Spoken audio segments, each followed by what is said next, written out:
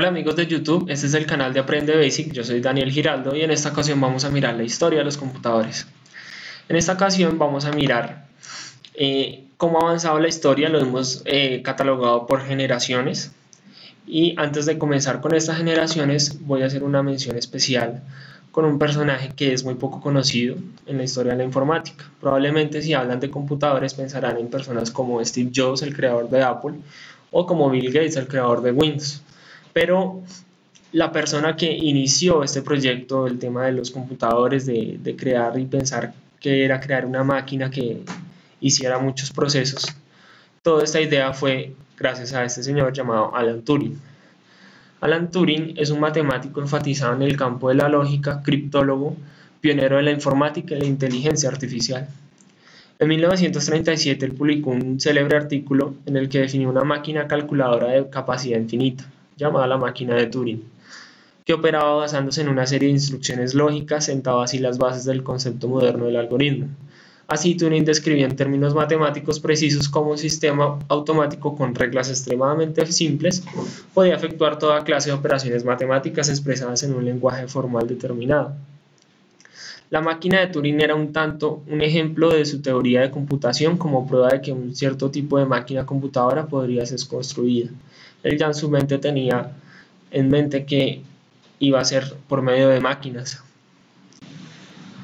Debido a sus conocimientos como en la parte de la informática y sobre todo en la parte de criptología, durante la Segunda Guerra Mundial, Alan Turing fue llamado para ser parte de un grupo selecto de matemáticos que necesitaban descifrar los códigos secretos de los nazis.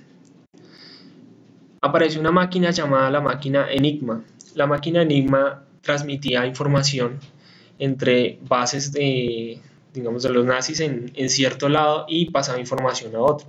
Entonces, por decir algo, enviaban una información de que el coronel tal va a pasar por tal lado y tiene que entregarle tal información. Entonces, como esas, esa información podría, podía ser interceptada, entonces la máquina de Enigma lo que hacía era encriptar esa información. Cuando nos referimos a encriptar la información significa que él cambia esas palabras, lo cambiaba por letras y por números para que cualquier persona que interceptara esa comunicación no se diera cuenta que era lo que estaba pasando. Habían dos máquinas Enigma. Una de esas máquinas Enigma era la que enviaba el mensaje encriptado y había otra máquina Enigma que era lo que lo descifraba. ¿Para qué llamaron a Alan Turing? Alan Turing diseñó tanto la máquina como el código para poder descifrar ese mensaje. Entonces, cuando interceptaban la información, la máquina que creó Alan Turing con todo el código lo que hacía era reducir esa, esas líneas de código y descifraban esa, esa información. Con eso eh, eh, ellos podían interceptar cualquier, cualquier información que enviaban los nazis. Eh, por su parte, los nazis estaban demasiadamente sorprendidos porque no sabían cómo se enteraban si era una invención lo máximo para ellos. Entonces, eso fue una de las grandes logros que tuvo Alan Turing y fue llamado pues para que ejecutara esa tarea. Mm, algo que es muy mencionado con la vida de Alan Turing que no fue muy reconocido fue porque él era homosexual. En esa época pues se criticaba mucho eso. Eh, lo mandaron a corte, lo iban a, encarcelar y le pusieron dos opciones. Una era la, la, pena de muerte o la otra era una castración química. Alan Turing decidió que le hicieran una castración química. Eh, duró mucho tiempo con, con, temas de depresión y cambios hormonales debido a esta, a esta castración y al final decidió suicidarse con una manzana envenenada. Esta manzana es la manzana que aparece en Apple. Eh, Steve Jobs lo hizo en mención a este personaje, a Alan Turing, y por eso la, el icono de, de Apple es una manzana mordida, que es en referencia a lo que hizo este señor Alan Turing. Bueno, continuamos vamos a mirar el tema de la primera generación de computadores. La primera generación de computadores comprende desde el año 1944 a 1956 En esta primera generación se da la creación de la computadora Mark I, que fue desarrollada por Howard Aiken. Luego sigue la computadora ENIAC, Electronic Numerical Integrator Calculator, una enorme computadora la cual ocupaba más de una habitación, pesaba más de 30 toneladas y trabajaba con más de 18.000 tubos de vacío. Por derecho de trabajar con estos tubos de vacío, por eso era que eran tan pesados y tan gigantes. En 1951 se construyó la primera computadora para uso comercial, la cual fue llamada UNIVAC. Esta computadora fue construida para ser usada en la Oficina de Censos de Estados Unidos. Acá tenemos una imagen de la Mark I. Miren lo grande que era.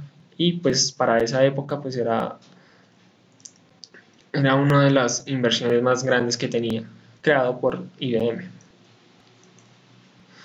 Luego pasamos a la segunda generación de computadores. La segunda generación comprende desde los años 1959 a 1964 lo más destacable de esta segunda generación es el reemplazo del uso de tubos de vacío por los transistores, lo que lo hizo que las computadoras sean más pequeñas y más rápidas. Esta segunda generación se reemplazó por el lenguaje de máquina por el lenguaje ensamblador. Se crearon lenguajes de alto nivel como el COBOL y el Fortran.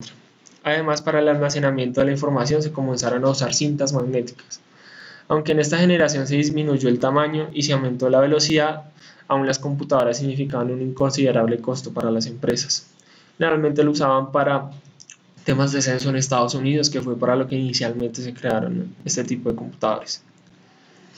Tercera generación del computador. Esta generación comprende desde 1964 a 1971 y el mayor logro de esta generación es el, el uso de los circuitos integrados, chip de silicio. Esto hizo que los computadores sean más pequeñas y más rápidas, Además consumían menos electricidad, lo que le hacía que generen más, menos cantidad de, calor y eran más eficientes. La tercera generación comienzan a surgir los programas o software. La compañía que tuvo apogeo en esta generación fue IBM, la cual lanzó al mercado computadoras como la IBM 360 y la 370.